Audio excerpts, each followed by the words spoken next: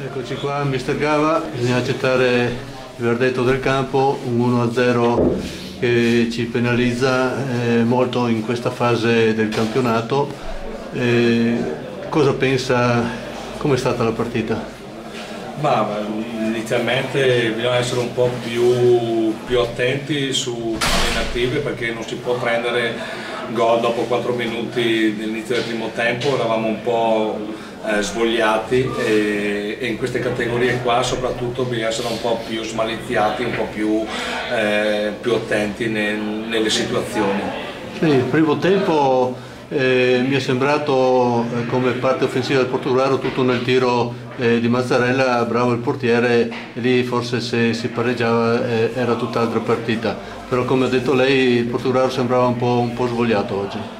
Sì, ma se con i mani non si va da nessuna parte, bisogna essere consapevoli che ci vuole spirito di sacrificio per tutte le partite, altrimenti, altrimenti si fa fatica. E dopo anche eh, una situazione a livello tattico non ci muoviamo senza palla che diventa ancora più difficile a trovare spazi e a trovare situazioni di gioco.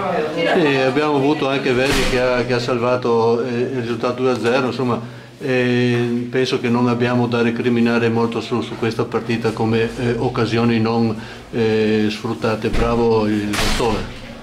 Beh, dobbiamo recriminare anche la traversa che abbiamo preso su una palla inattiva gli ultimi, gli ultimi 6-7 minuti che, che, che, abbiamo avuto un'opportunità per pareggiare e logicamente abbiamo fatto molto poco per cercare di ribaltare il risultato e spero che ci servi per, da lezione in modo da, da, ritrovare un po' di spirito, un po' di più mentalità nel, nel giocare, nel vincere le partite. Sì, allora per chiudere, le prossime due partite eh, sono con due squadre fortissime che stanno eh, avendo un, un, buon momento, poi eh, si giocherà eh, con due trevigiane che sono a, ai primi posti con eh, la capolista che oggi mi sembra abbia perso.